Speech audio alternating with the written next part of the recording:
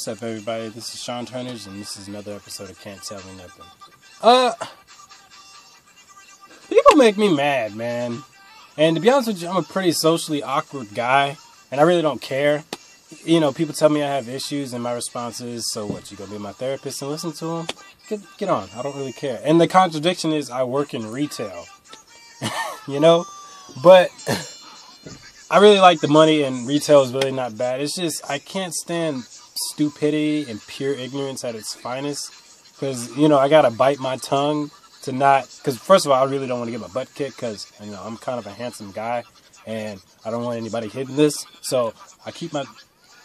What's that? Did my door open? Nope.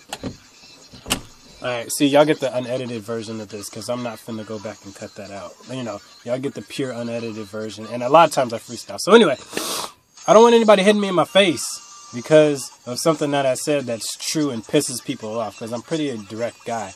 But I was at this, I was ringing some girls up one time, and uh, it was three little white girls, and yeah, they take place in the story because you know I just want to say that they're three little white girls, and they, you know, there was youngest, middle, and oldest. I'm guessing, and uh, I rang up one of them, and uh, one of the girls goes.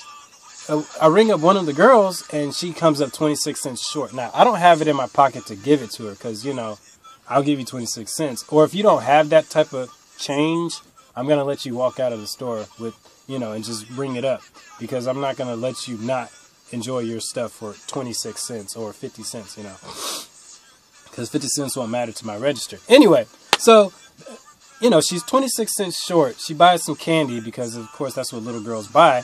She buys candy and she's 26 cents short. And all of a sudden, sh- I go, you know, you're 26 cents short. She goes, oh, she immediately starts fumbling for her candy. I mean, for her money. And she turns to the youngest girl and goes, hey, do you have 26 cents? And she bends over a little bit and she goes, well, you know, you should give me the 26 cents because I'm old. And, you know, you know how people say, you know, I'm old and they're actually old or they say they're old. I said, kind of made me go, you know what, get the fuck out the store because I was like, you're old. And so I immediately, I guess I took advantage of the fact that she was 20, I mean, that she was 13 years old. I said, so how old are you?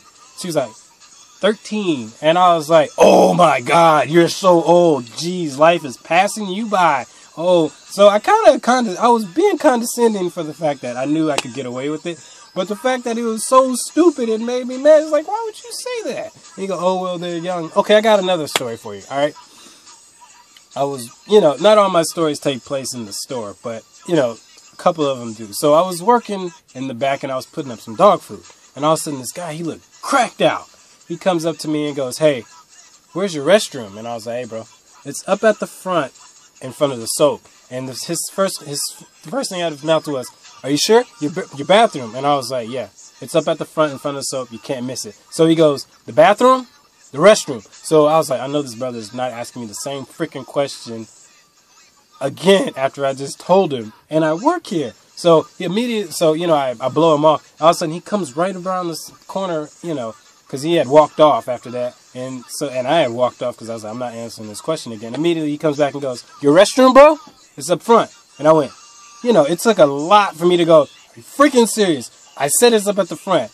Don't be stupid, bro. And he even looked cracked out anyway, so I kind of didn't fault. It was just the fact that he asked me the same question four times. So I was just boiling with hate, and I enjoyed it a little bit because I get to go home and make fun of this guy. And, you know, I know I just made a video about social media, but nobody knows who this guy is, so I can do that. Or no, nobody knows who these three little white girls are, so I can do that.